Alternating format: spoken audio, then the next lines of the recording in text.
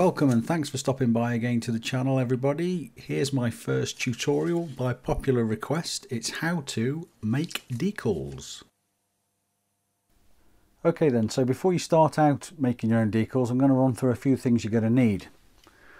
First of all, obviously, it's the paper itself.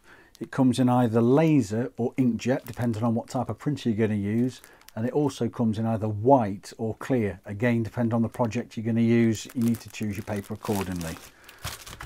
Secondly is the printer itself.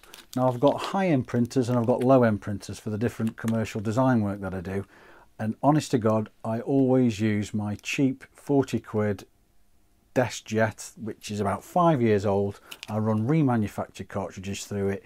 It's all about the settings so you don't need a really expensive printer you're going to need some scissors. I use these modeling scissors, but you can get some good quality um, little nail scissors from discount stores, which work equally as well. So you need some of them. A decent blade. I use a surgical scalpel blade so I can get into all the fine details. You need one of them. A set of tweezers for manoeuvring the decals around on the model once you've finished. A pencil, if you're going to use the old-fashioned method of drawing out and plotting out where the decals go. A ruler for any straight edge work. A set of these really handy helping hands. When you come to do some of the really tricky race liveries and cars with lots and lots of decals on, these are invaluable for holding it and keeping your hands working elsewhere. So I recommend some of them a small container to put some water in so you can put your decals in there. Depending on what size depends again on what size decals you're making in the first place. So you're going to need a tub and then finally you're going to need some clear lacquer. I use automotive lacquer. I also use clear coat modeling lacquer which you need an airbrush for depending on the expense and if you're just starting out this isn't a necessity. All the faffing around with an airbrush it's a maybe a possibility for the future. It does yield good results but 99% of the time I always use automotive lacquer. And as an extra I'll go on about this later on there's some little product called microset which is a setting solution and it helps softens the decals but I'll go on about that later on. That's an extra. So there you have it so first things first, it's time to make yourself a cup of tea and do a little bit of research. It may seem like an obvious thing to do, but I've done it in the past where I've started to make a car and I'm doing it on a wing and a prayer and it doesn't particularly make good results. So I tend to look at places like Pinterest and Google Images and make a little folder and fill it full of reference images, not only to help with the design, but to help with the placement when I come to do the car. I then go on to do some measurements, basic measurements of the actual car, but in this instance I was a little bit lucky. I had a set of old 124th decals from a Tamiya kit that I made in, in 124th scale. And a little bit easier and quicker to do, I use this as a reference to draw around. You can use image software like Photoshop, but it's best to use a vector drawing package. I use Adobe Illustrator mainly for my job, so it's the industry standard. I don't want to open up the floodgates as to a big debate on what's the best packages. If you do use other design packages, by all means put them in the comments field and let other people know about it. But I use what's considered to be the industry best to make a vector image. And all a vector image is, is predetermined points that you draw you can expand and contract without distortion unlike using pixels in an image. You can come back to it and modify it. It's very very accurate. And you can obviously choose the correct colors pantone references and all the all the rest of it. So all I tend to do is draw out each individual part. All the years ago when I started doing this I used to make all the old logos, all the um, nameplates. But as time's gone on, you can pretty much do a, a Google search on any free vector logos, vector logo, should I say, and download them virtually free anywhere nowadays. So a lot of the work I did in the past is rendered useless now. Well, it's not to me, but you can get it pretty easy nowadays. And what I'll do is I'll print it off on a piece of paper first to start, just to see what the first off looks like without wasting it on any decal paper. And just basically go around, cut them up and offer it up to the car, see if it's a hit or a miss.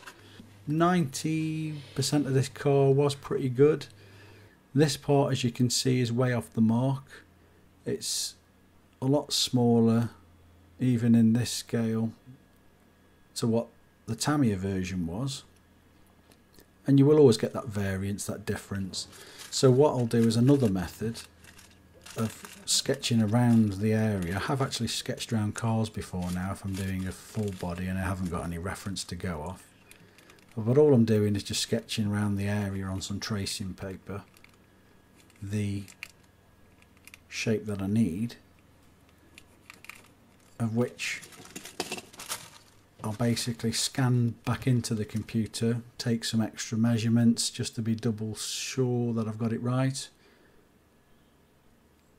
then again do the same process and draw around it and as you can see already on that scale side by side it's probably a good 70% bigger than the original reference that I drew around. I don't intend to give you a lessons on how to use the design software as there's plenty of other YouTube videos out on there on the subject. So I'm just simply speeding up and showing you the process I go through. And one may say it may be a little bit overkill for this scale but nevertheless it yields far better results and when you're finally happy, it's time to do the printing. And this is the next important, or probably the important part of it. Most printers always default to text and images. And what you want to do is go into them settings and reference just the images. And what that'll do is it'll create multiple passes. It'll go a lot slower in this print mode. But what it'll do is pick up all the fine detail and all the lettering, all the really tiny parts and then what you want to do is pick the best paper for the job. And again you may have to play around with this. I always find obviously any of the glossy ones work the best. But there is premium ones there's glossy um, Epson ones or HP ones or whatever it is printer you use.